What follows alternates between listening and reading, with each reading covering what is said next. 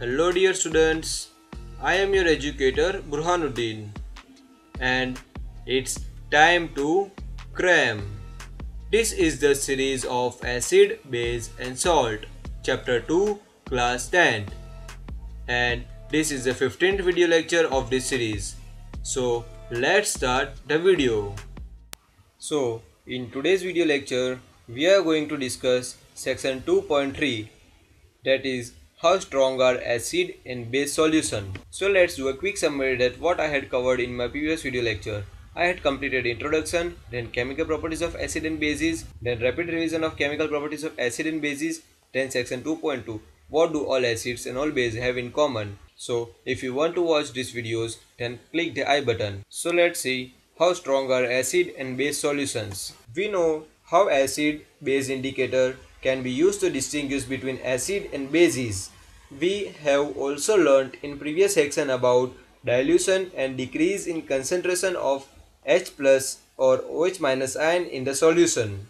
So the questions arise in our mind is can we quantitatively find the amount of this ion present in a solution or can we judge how strong our given acid or a base is? To get this answer watch the full video. So answer is yes we can do this by making use of universal indicator which is mixture of several indicators. So what is universal indicator?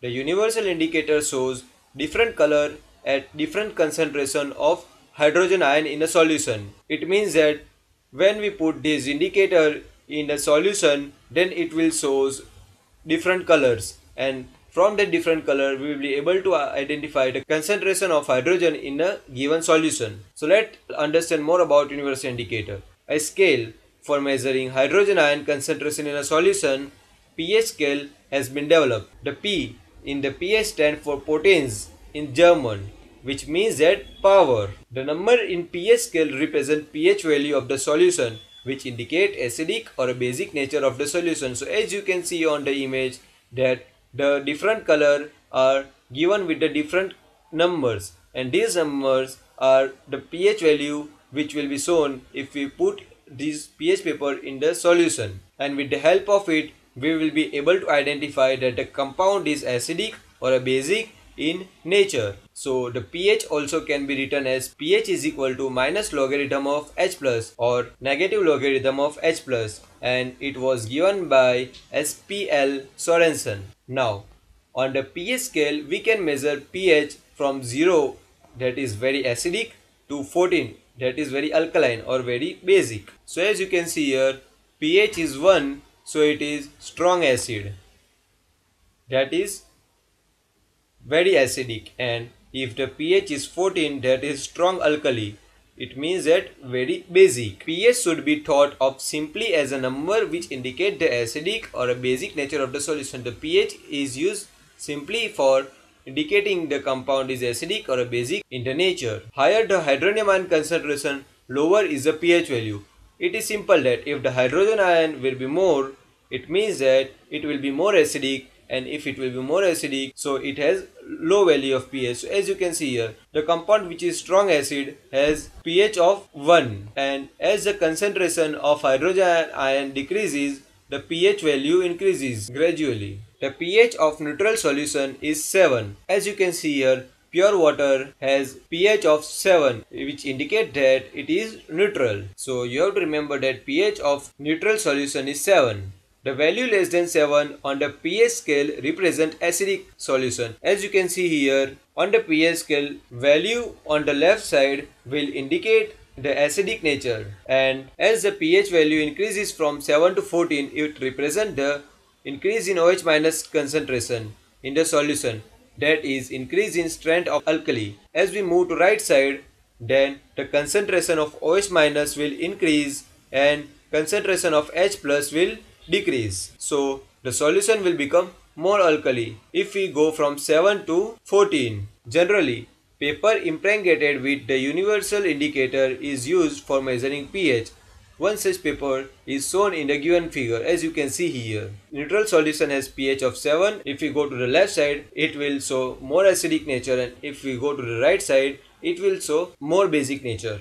As if you go to the left side, the concentration of H plus increases and as we go to the right side concentration of OH minus will increase and H plus will decrease. Now this is the activity 2.11 given in your NCERT textbook. Test the pH value of the solution given in the table 2.2. In table 2.2 we are given 10 compound and we have to test the pH value of that compound and we have to record our observations. So here for this 10 compound we have to find the color of pH paper. It means that when we put pH paper in the given compound which color the pH paper will show. As you can see here pH paper has different colors and it will vary according to the compound and here we have to write approximate value of pH and here we have to write nature of substance.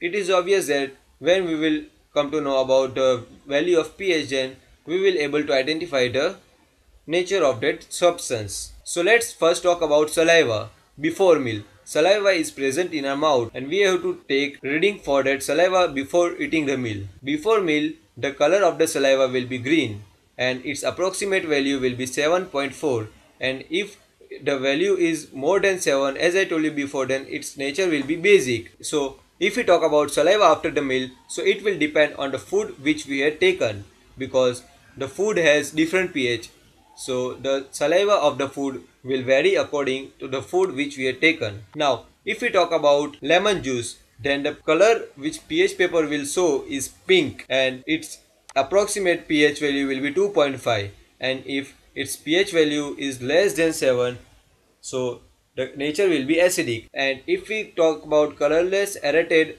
drinks so the color of pH paper will be yellow or green. And its approximate pH value will be 5 to 6 and if it is less than 7 then again it is acidic. And if we talk about carrot juice so it will also show you yellow or green color. And its pH is also approximately 5 to 6 so its nature will be also acidic.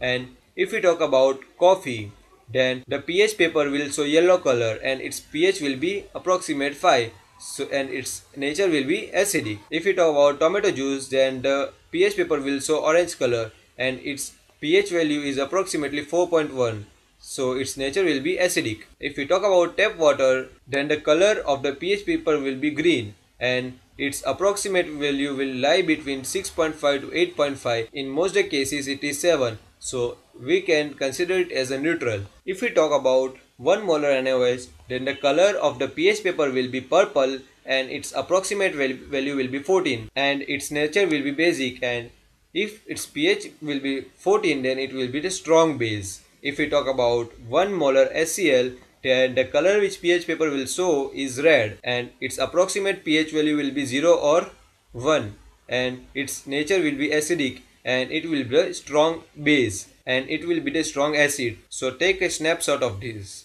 Now let's perform an activity to understand the strength of an acids and base. Step 1. Take two beaker and name them A and B respectively.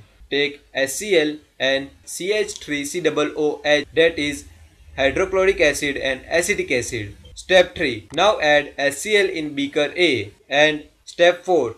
Now add CH3COOH in beaker B that is acetic acid in beaker B and hydrochloric acid in beaker A. Now step 5. Put two nails into a cork and put the cork in both the beaker. Now step 6. Connect the both terminals of the nails with the 6 volt DC supply and switch on the supply. What did you observe? We observed that the bulb glows brightly in beaker with the dilute HCl and bulb glow low or dim in a solution of CH3COOH as you can see here. The bulb in hydrochloric acid is grown more than the bulb in acetic acid. So why this happen? First thing which we know that the electric current flows due to the ions. So it means that dilute HCl has more ions and it carries high electric current. Hence it is strong acid. And dilute CH3COOH has less ions and it carries low electric current. Hence it is called weak acid. So as we discussed previous also that electric current flows due to the ions. And as dilute HCl has more ions.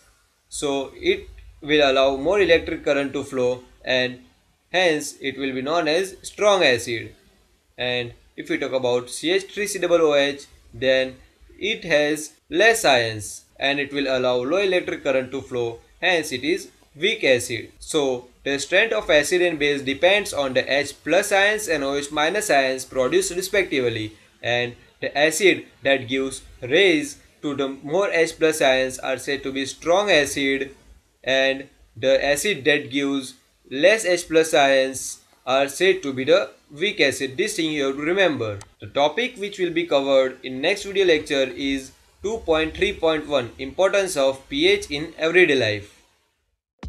Notes are uploaded on the bloggers page of Time to Cram. So visit the bloggers page to download the notes and the link of the bloggers is given in the description box. So check the description box, get the link and download the notes. And if you find this video helpful and informative then like it and do share it with your friends and classmates. And yet you had not subscribed to our channel Time to Cram then subscribe it. And don't forget to hit the bell icon so that you will get latest notification and update when new video is uploaded. That's all for today's video lecture. Thank you.